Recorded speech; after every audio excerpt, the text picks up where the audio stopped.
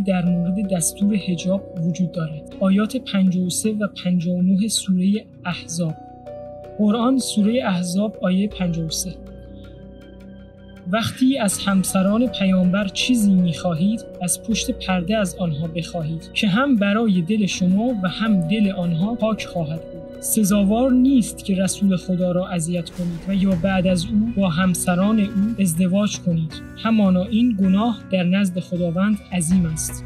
سوره احزاب آیه 59 به همسران و دخترانت و زنان مؤمنان بگو که عبای خود را بر خود بپوشانند.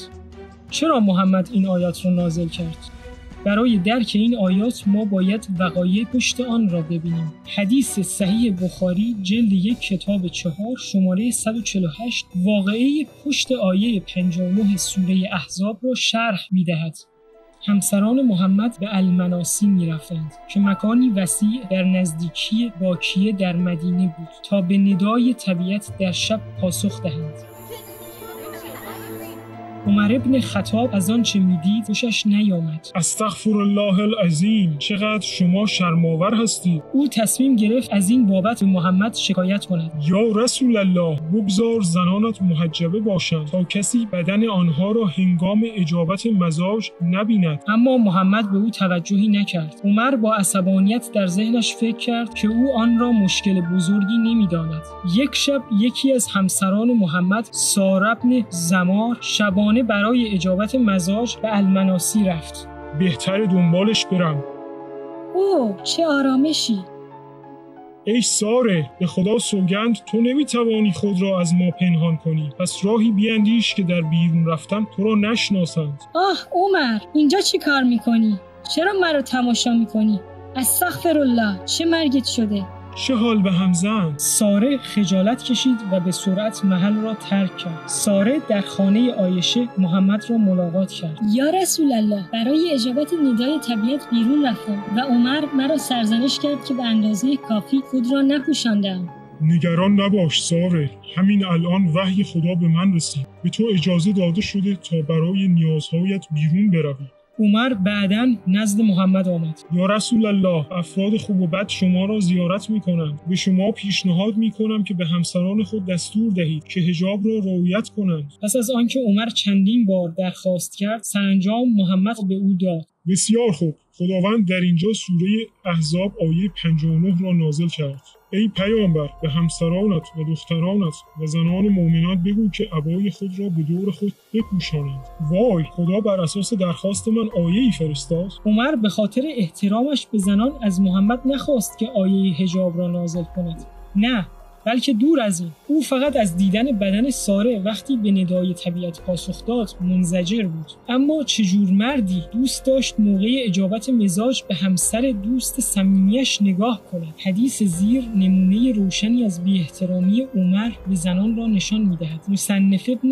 ابی شبا شماره 6382 با صداقت گزارش کرد عمر یکی از کنیزان ما را دید که چادر بر سر داشت و او را شلاق زد. عمر گفت شبیه زنان آزاد نباشید. امروزه مسلمانان مدعی هستند که حجاب اسلامی نماد احترام به زنان است. اگر چنین است پس چرا عمر کنیز زن را به خاطر حجاب شلاق زد؟ یقینا عمر از زنان متنفر بود. به این حدیث زیر توجه کنید. حدیث امام موطع مالک کتاب سی شماره 14 مسلمانی به ملاقات عمر ابن خطاب آمد. ای عمر به نصیحت تو نیاز دارم. مشکلت چیه؟ وضعیت من این است. من یک جوریا دارم و قبلا با او محرم بودم.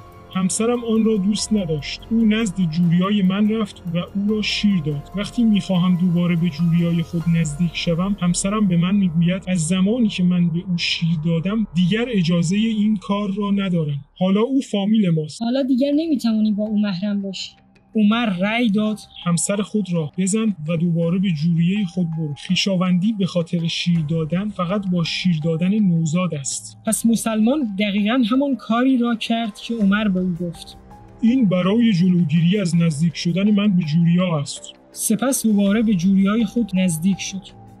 عمر مردی خشن بود که از بردگی ضرب و شتم شلاق خیانت به زنان ابایی نداشت و حتی مسلمانان دیگر را نیز به انجام همین کار توصیه می‌کرد. همچنین محمد با گفتن این جمله از رفتار خشونت آمیز عمر با زنان حمایت کرد. از یک مرد در مورد کتک زدن همسرش پرسیده نخواهد شد. محمد و عمر دو مرد از یک جنس بودند. از همان جنسی که برای کنترل زنان اطراف خود از خشونت استفاده می‌کردند. دستور حجاب ناشی از نفرت آنها نسبت به زنان بود. السعودی در کتاب اسباب النسال خود از واقعه دیگری در پشت آیه 53 سوره احزاب یاد کرده است. روزی طلحت ابن آبدیله نزد دختر امویش آیشه آمد و با او گپ زد. محمد آمد و از آنچه دید خوشش نیامد. نکنه دیگه بیای اینجا و با همسرم تنها صحبت کنی. اما آیشه دختر عموی من است و خدا می‌داند که نه من و نه او حرف زشتی نگفته ایم. حسودتر از خدا کسی نیست حسودتر از من هیچ کسی نیست. تله با عصبانیت از خانه آیشه خارج شد. محمد ما را از ازدواج با دختر اموهایمان باز می‌دارد در حالی که هنوز بعد از مرگ ما با زنان ما ازدواج می‌کند. بنابراین پس از مرگ او حتما با آیشه ازدواج خواهم کرد. محمد با شنیدن این حرف شوکه شد. اوه نه شما این کار رو نمی کنید خدا همین الان گفت که درست نیست رسول خدا را اذیت کنید و نه اینکه بعد از او با بیوه هایش ازدواج کنید. هر چیزی از همسرانم می‌خواهی از پشت پرده از آنها بخواه. سوره احزاب آیه 6 میفرماید پیامبر از خود آنان به مؤمنان نزدیکتر است و زنانش مادرانشان هستند. شما نمی‌توانید با مادران خود ازدواج کنید. از آن به بعد همسران محمد هر وقت با مردی روبرو می شدند که بستگان یا شوهر آنها نبود همیشه مجبور بودند هجاب یا نقاب داشته باشند. تفسیر قرآن تبری و ابن خطیر سوره احزاب آیه 59 داستان دیگری را در پس دستور هجاب ذکر می در مدینه همسران پیامبر گاهی مجبور بودند برای اجابت مزاج در شب بیرون بروند. خانههایشان سرویس بهداشتی نداشت. بنابراین برای اجابت مزاج یا ادرار به مزرعهای به نام المناسی می‌رفتند. در راه رفتن به المناسی چند مرد جوان آنها را اذیت و مسخره کردند.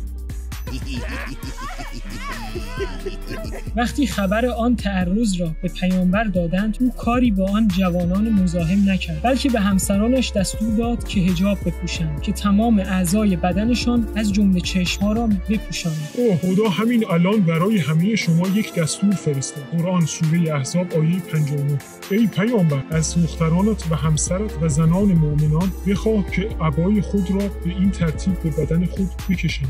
چه بسا نیکوکار شناخته شوند و مورد آزار قرار نگیرند و خداوند آموزنده و مهربان است.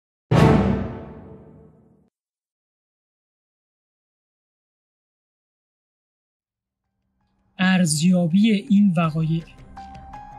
در مورد اول مشکل به دلیل نبود توالد تمیز در میان جامعه مسلمانان بود.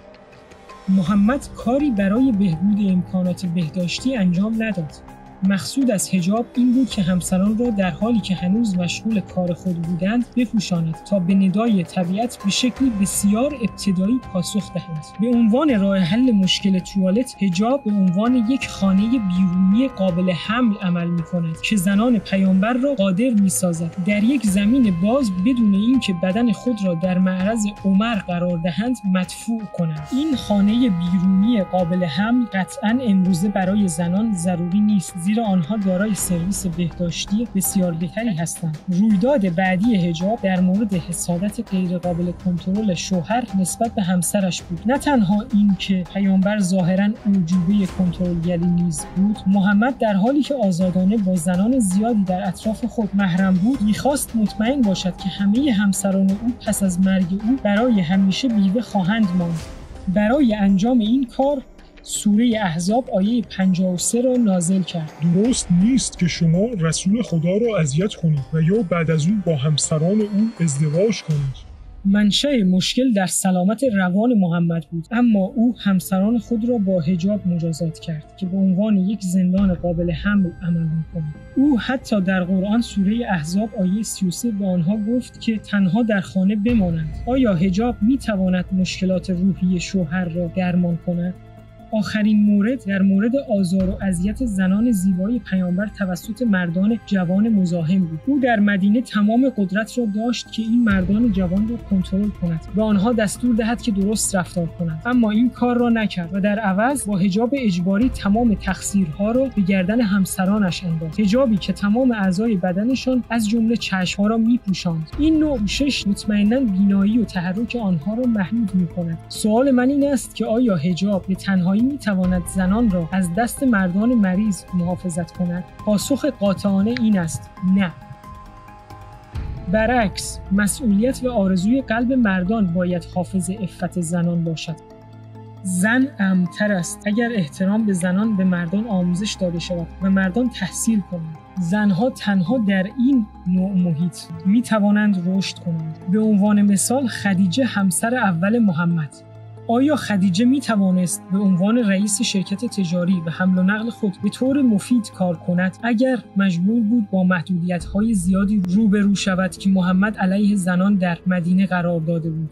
خدیجه برای اینکه بتواند تجارتش را اداره کند مجبور بود رو در رو با کارمندانش. شطور سوارانی که اکثرا مرد بودند در دفترش برخورد کند. در اسلام او اجازه نداشت با آنها خلوت کند. این نوع محدودیت توانایی او را برای انجام تجارتش به شدت محدود می کرد در شریعت خدیجه باید از شوهر یا یکی از اعضای مرد خانوادهاش برای داشتن شغل اجازه می گرفت این خندهدار است زیرا خدیجه کسی بود که در طول 25 سال ازدواج با محمد او را تأمین کرد. او در زمان تحریم در مکه از مسلمانان حمایت کرد. او نمی توانست این کار را انجام دهد. اگر مانند دستور قرآن سوره احزاب آیه 33 مجبور بود فقط در خانه بماند. او در مکه موفق شد و مورد احترام بود. زیرا جامعه مشرکان مکه از آزادی و حقوق او برای دنبال کردن آنچه می‌خواست حمایت کردند.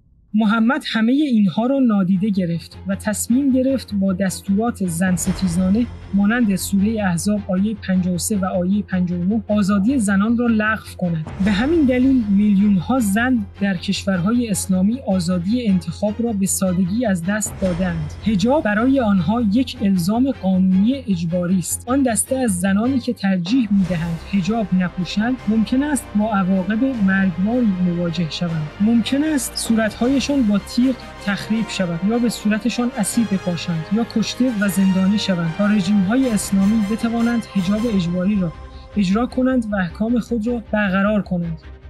در گذشته محمد زنان را سرکوب کرد. پس از زمان او رهبران مسلمان به محمد را تا حدی دنبال کردند که به نام اسلام زنان را میکشتند. مانند قتل اخیر مهسا امینی. اگر این ویدیو خوب بود این شبکه رو subscribe کنید و این ویدیو رو لایک کنید. لایک هاتون باعث میشه این ویدیو بیشتر دیده بشه و این موضوع رو مردم ما بیشتر بفهمن. دو ویدیوی دیگر که در مورد کتاب ممنوعه 23 سال و همچنین نقد اسلام در فیلم Inception رو به عنوان ویدیوی بعدی بهتون پیشنهاد می‌کنم.